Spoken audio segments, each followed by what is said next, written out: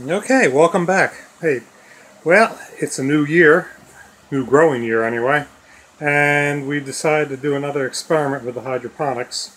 Last year, you may you may or may not remember, we did tomatoes, and although it worked well and everything grew really well, matter of fact, it grew too well, and we wound up with too much foliage in here, and the white flies came in and took over, and that was a nightmare. There was no getting rid of them. I couldn't spray the foliage enough with the neem oil to get rid of the white flies. So, this year we've decided we're going to uh, work with some peppers and see how they work out here in the hydroponics. Uh, we planted them about a week ago in here, washed all the dirt off the roots, and planted them in here a week ago. I wanted to make sure that they survived the transplant before I did the video.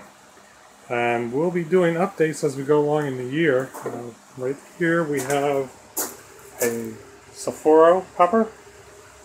Over here we have a Santa Fe Grande. And this one is a mystery pepper. Since I lost the stake I put in the dirt. Uh, but it's either a Naga Viper or a Reaper. Uh, I don't really know which.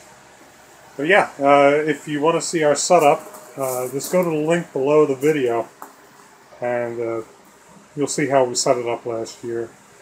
It was all based off MHPGardener's uh, system, but we've made a few little changes. So take a look at it and see what you think. Might want to set up a small one of your own. Okay, let's get these guys growing. We'll be back when we have an update for you.